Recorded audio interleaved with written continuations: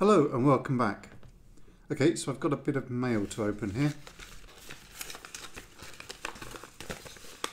So this is Dustin Watts' mini amp kit. I'll provide a link to his YouTube in the description. Dustin sent me one of these kits to take a look at. So I'm going to see if I can build it. Okay, nice uh, resistor guide for uh, colour impaired like me. Let's check the parts.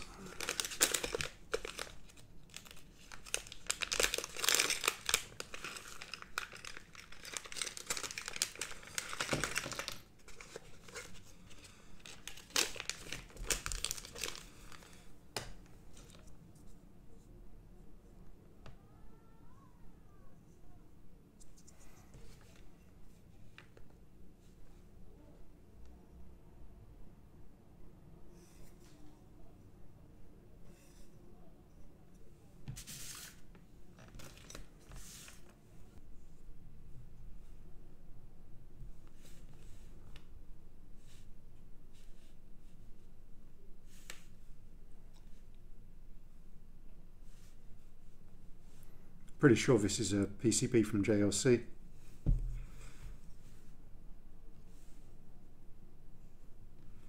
Oh, looks pretty neat. Right, so we've got two three and a half mil connectors. Ah, he has actually written the resistor values on the paper. That's always a good attribute to have on a kit.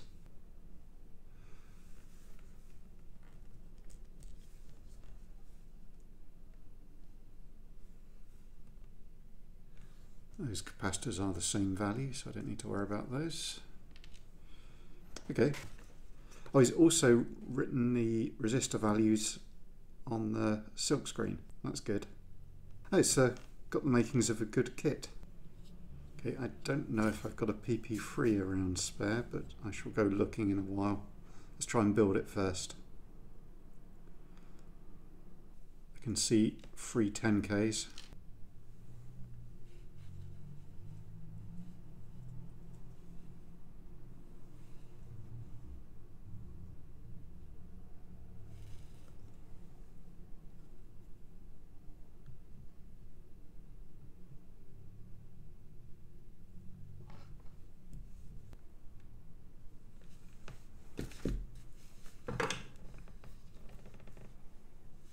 Okay, I've got my soldering iron set to 360, which is what I generally use for through hole work.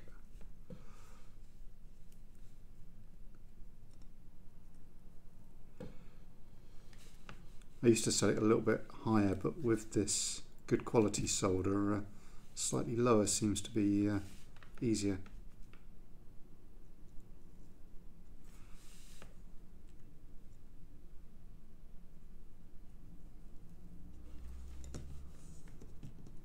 Bent these legs slightly more than was is necessary.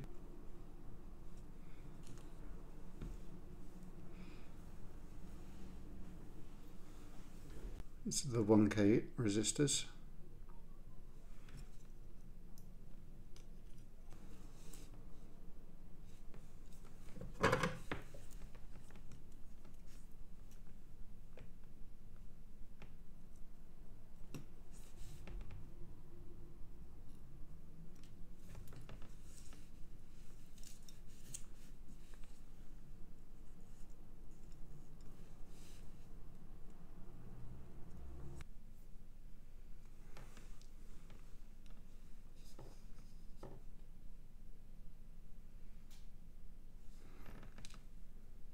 I'm the first to admit I'm not much of an expert in analog, but I'm seeing a mirroring of these resistors, so I strongly suspect that might be left and right channels.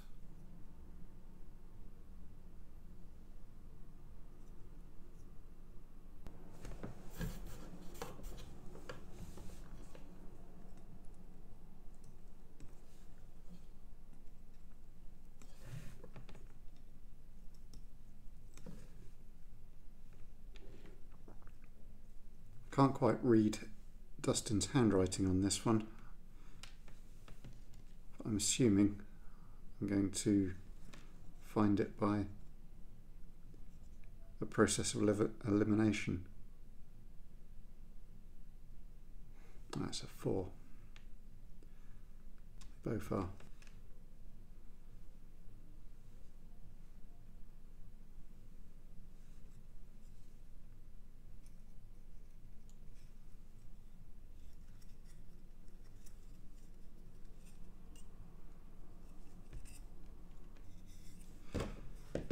Last kit I built before this was a speed run and I wasn't particularly worried about uh, the bits of wire I was trimming from the leads. I'm still finding bits of wire uh, spread around my room.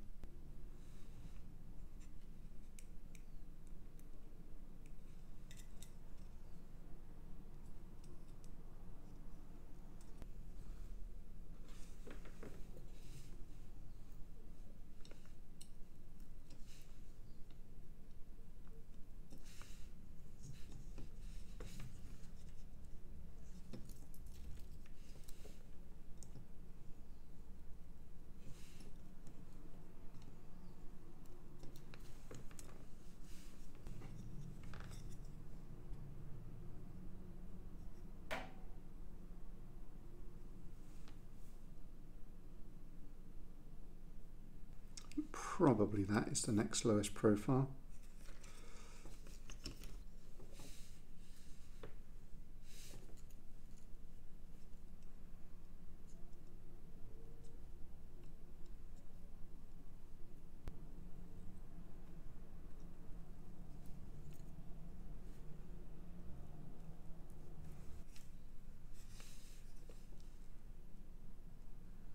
Okay, what's next?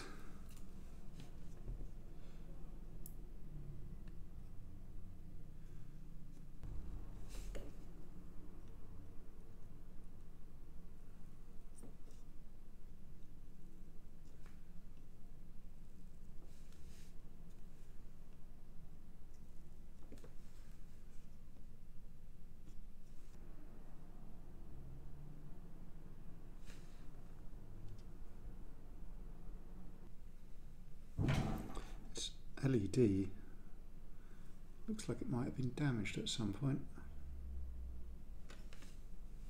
Let's assume it's okay.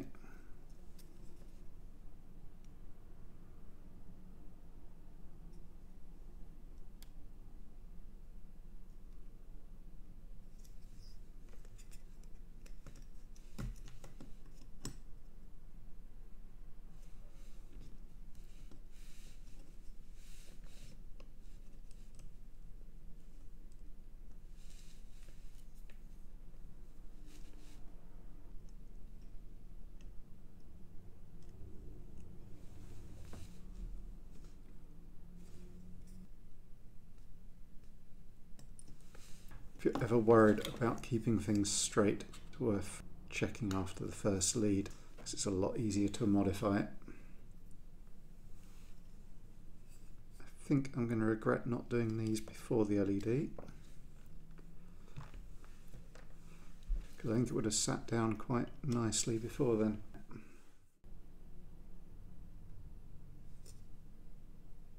I'm trying to work out why, but it doesn't sit terribly nicely there engage the Blu-Tack there.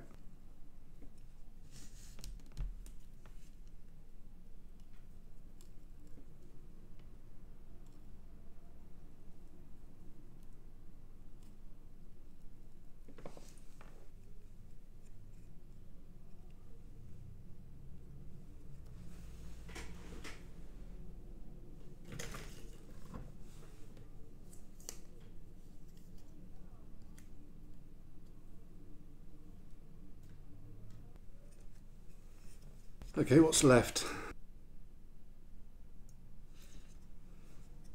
Do the potentiometer first.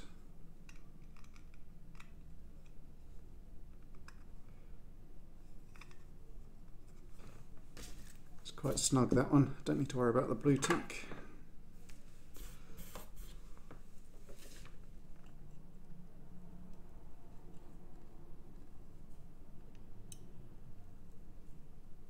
Not the neatest joints I've ever done those ones.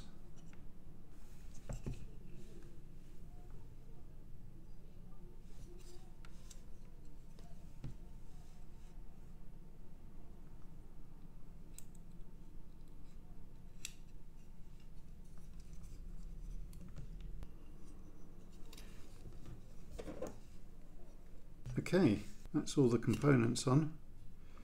Still need the power line.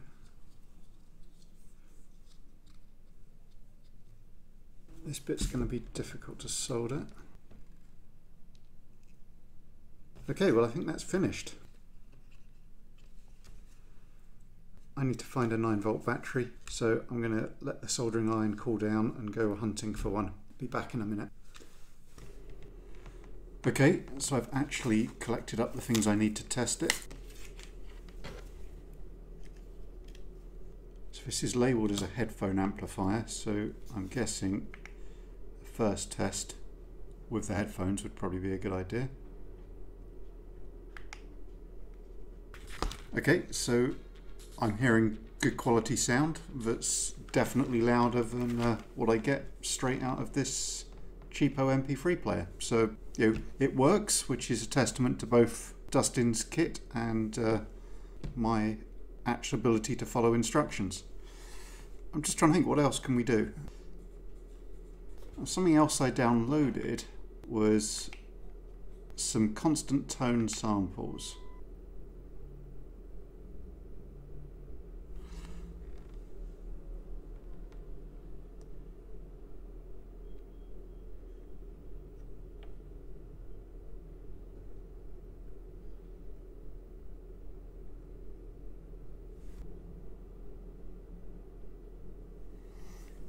Okay, so we can definitely adjust the amplitude.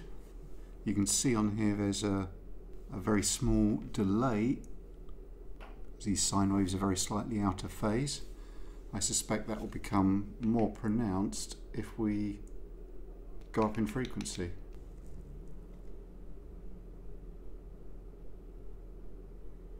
I think the artifacting we're seeing here is probably the rubbishness of the digital to analog converter in the cheap MP3 player, or possibly just the source data. That's interesting. I don't know enough about analog ele electronics to uh, really comment on this stuff.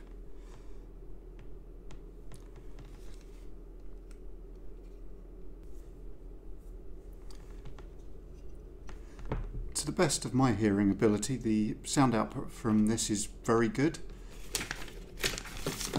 The instructions were very clear. It was uh, not really something where I felt I needed to reference what looks like some very well written documentation because the markings on the silk mask were more than sufficient to uh, tell me what went where. Definitely liked the good labelling on the resistors for those of us who are a bit colour code impaired. It's a good kit, Dustin.